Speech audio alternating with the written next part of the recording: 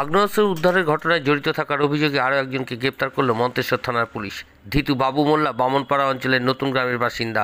থানা সূত্রে জানা গেছে, দিন কয়েক আগে গভীর রাতে নতুনগাঁও মোড় এলাকা থেকে মন্তেশ্বর থানার পুলিশ গোপন সূত্রে খবর পেয়ে দু রাউন্ড গুলিসহ আগ্নেয়াস্ত্র নতুন গ্রামের বাসিন্দা শহীদ মোল্লার কাছ থেকে উদ্ধার করেছিল। পুলিশ জানায়, ধৃতকে পুলিশ হেফাজতে নিয়ে জিজ্ঞাসাবাদ করে বাবুর নাম উঠে আসে। বৃহস্পতিবার রাতে তাকে চুয়াডাঙ্গা এলাকা থেকে গ্রেপ্তার করল পুলিশ। ধৃতকে শুক্রবার কালনা আদালতে পাঠানো হয়েছে মন্তেশ্বর থানার পুলিশ। চব্বিশ ঘণ্টা ইন্ডিয়া টিভির প্রতিনিধি পূর্ব বর্ধমান থেকে জ্যোতির্ময় মণ্ডলের বিশেষ প্রতিবেদন।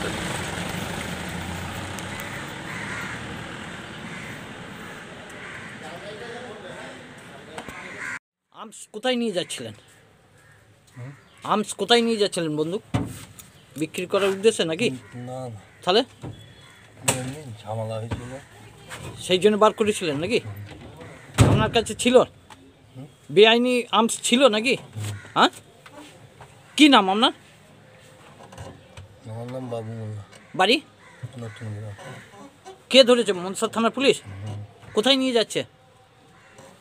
এখন? এখন? কানলা নিয়ে যাচ্ছি। কামলা নিয়ে যাচ্ছে। তা এই বেআইনি আর্মস রাখা তো অন্যায়। হ্যাঁ? বলুন। হ্যাঁ? তা কী জন্য? মারামারির জন্য রেখেছিলেন নাকি? আজ এ পর্যন্ত সঙ্গে রাখুন চব্বিশ ঘণ্টা ইন্ডিয়া টিভি, দেখতে থাকুন সব জেলার সব খবর, সবার আগে চব্বিশ ঘণ্টা ইন্ডিয়া টিভির পর্দায়। নমস্কার।